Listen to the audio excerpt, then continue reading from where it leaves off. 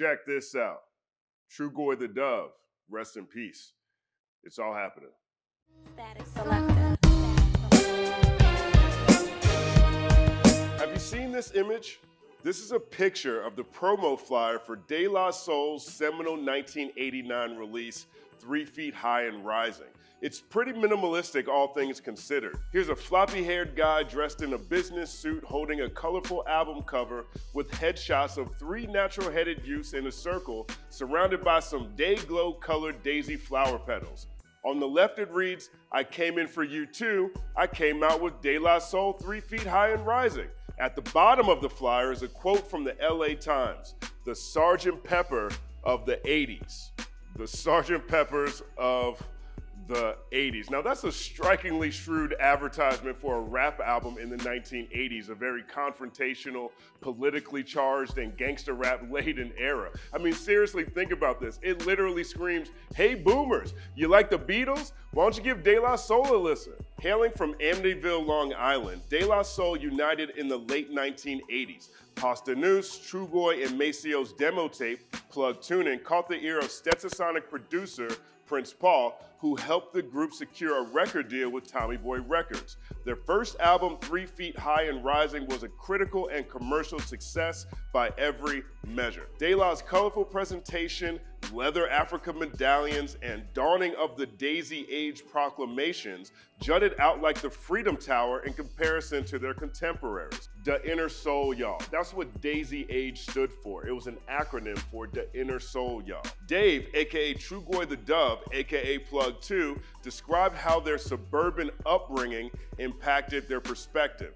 Being here made us see just a different light. I mean, people in the Bronx might have seen, you know, crime on an everyday basis and might have seen uh, problems within the community on an everyday basis. I think being out here just basically opened up our mind. It wasn't like cluttered with all the noise and all the crime and all the, you know, all the, I guess, things that every other rapper is talking about. De La's Daisy Age motif, along with their distinctive brand of melody, wittiness, tongue in cheek humor, had heads calling them hip hop hippies hip hop hippies. And that actually makes sense if you think about it. That was part of their marketing plan. They were the Sergeant Pepper of the 80s, remember? And while hit songs like Me, Myself, and I, I Know, and Buddy, along with their imaginative and inventive sampling of pop, rock, funk, jazz, you name it, while that all pushed sonic boundaries and pushed Three Feet High and Rising to platinum status, De La wasn't actually cool with being marginalized as hip hop hippies. Here's what Dave told The Guardian. If some think we have a hippie style and a hippie sound, that's fine. But we'd be offended if it was said that we wanted to be hippies. We don't. We just want to be ourselves. Our music is raw and it's funky, but at the same time, it's deeply soulful because this is the daisy age and this is the sound from within. Rap doesn't have to come off with hard bass lines and heavy kicks and snares. People sometimes want to listen to soft music, even the hardcore crowd. De La was so bent on shedding its self created image that for their second album, the group did the unthinkable. It killed itself. Battling the stresses that come with crafting a classic debut, label pressure to recapture lightning in a bottle, dissatisfaction with the hippies of hip hop designation, creative pigeonholing due to their unique sound, the trio destroyed all previous misconceptions of themselves with the release of their sophomore album, 1991's De La Soul is Dead. This loosely based concept album was much darker than their debut. Not only did the record address societal issues such as drug addiction on My Brother's a Basshead and abuse on Millie Pulled a Pistol on Santa, but the LP itself was littered with interludes of kids dissing the album while listening to it. De La Soul is Dead challenged listeners sonically and conceptually while simultaneously shedding the lighthearted hippies of hip hop image misunderstood on Three Feet High and Rising. Although the album failed to meet the commercial benchmark set by its predecessor, it's another hip hop classic in its own right, even receiving the coveted five mics in the source. And most importantly, it would become the first time De La Soul successfully evolved past pigeonholing a trend that will continue for the rest of the group's 30 plus year career. where 1993's Buhloone Mindstate showcased an evolved sound with a Maceo Parker saxophone instrumental, introspective rhymes highlighting their maturity, a first-time collaboration with Gang Starr MC Guru, rest in peace. 1996's Stakes is High, on the other hand, and its commentary on hip hop's artistic decline is not only considered one of De La's top works, but has arguably proven prophetic over time. Where 2000's Art Official Intelligence's promise of three albums released within one year fell one installment short of fulfillment due to label complications, which became synonymous with the group, AOI Mosaic Thump and AOI Bionics featured collaborations with Redman, Chaka Khan, Devin the Dude, B-Real, Busta Rhymes, Xzibit, Beastie Boys, among others across the two albums, as well as radio-friendly production, served as a reminder that De La could successfully re-emerge from the underground and swim in the mainstream. An underground which ironically arguably began with Stakes is High in the first place. We broke that down in the Nas De La Soul breakdown. Check it out if you missed it. 2004's The Grind Date is a testament to De La's ability to trim the fat and compile a sleek, dynamic listen that reinforces the impact and influence they've had on rap as a whole and the necessity to preserve hip hop culture before it's too late. Jake One, Madlib, J Dilla, Ninth Wonder, and Supa Dave West handle production. Common, Carl Thomas, Flavor Flav, Ghostface, MF Doom all make appearances. It's a hyper rewindable late career release that's become my personal favorite over time. In 2016's The Anonymous Nobody shocked the industry when De La Soul financed the album by putting together a Kickstarter campaign to raise funds for the release. Their goal was to raise $100,000 and they shattered it by improbably raising $600,000 plus. If there was ever any doubt of the power of whether De La Soul could still move masses, all questions were answered after that campaign. The finished product even impressed the voting members at the Recording Academy as And the Anonymous Nobody was nominated for Best Rap Album at the Grammys, a first in their storied career. It's all happening. We covered that in the Inside De La Soul's $600,000 album breakdown. Check it out if you missed it.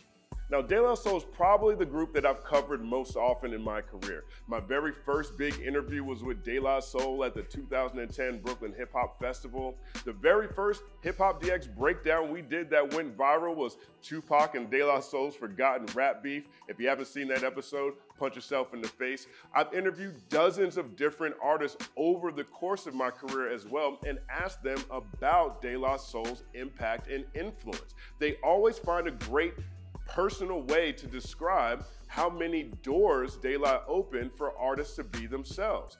Here's two. Here's two that still resonate with me today. The first one, Pharoahe Monch. The amazing thing about De La Soul for me is how they can simultaneously be veteran hip hop legends and make current music with the hunger and excitement of a freshman. They allowed me as an artist to be totally comfortable and honest with my art expression my style, and my voice.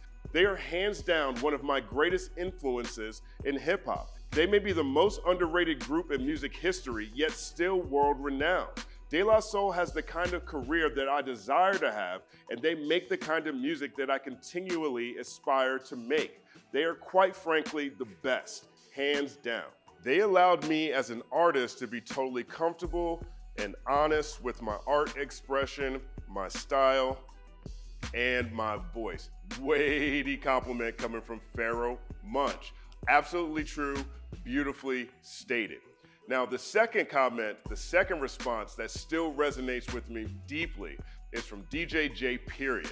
Here's what he said. As an artist, the highest compliment I've ever been paid is by De La Soul when they told me that the way I put my mixtapes together reminds them of their own work. Wow. I mean, these guys wrote the book on creativity, subtlety, attention to detail, and they embody the absolute best of hip hop culture.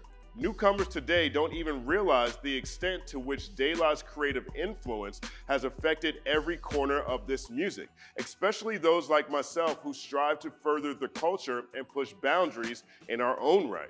Challenging conventional wisdom, exploring every creative possibility, speaking so powerfully that it impacts a whole generation, that's true artistry. That's De La Soul. Challenging conventional wisdom, exploring every creative possibility, speaking so powerfully that it impacts a whole generation. That's true artistry. That's De La Soul. Big, big facts. De La Soul's sound, aesthetic, and willingness to be different was pioneering when they arrived in the 1980s, and now their influence is plastered all over modern rap acts. De La's original Daisy Age motif had many referring to them as hip hop hippies, for example. Kendrick Lamar, Jay Rock, Schoolboy Q, and Ab-Soul were part of a unit called Black Hippie, and just about every member of Black Hippie moves left of center. Kanye West has championed a tribe called Quest, who is a part of Native Tongues along with De La Soul. De La debuted a year before Tribe. Star and Lord Jamar even credited De La Soul for paving the way for Drake.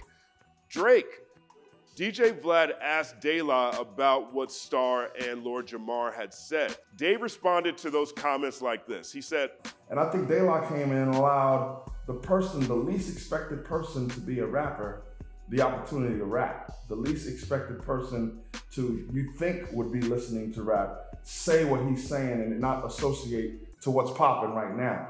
And I think that I think that's what maybe Star might be saying to the extent of we gave the opportunity for the least expected person coming from the left to shine.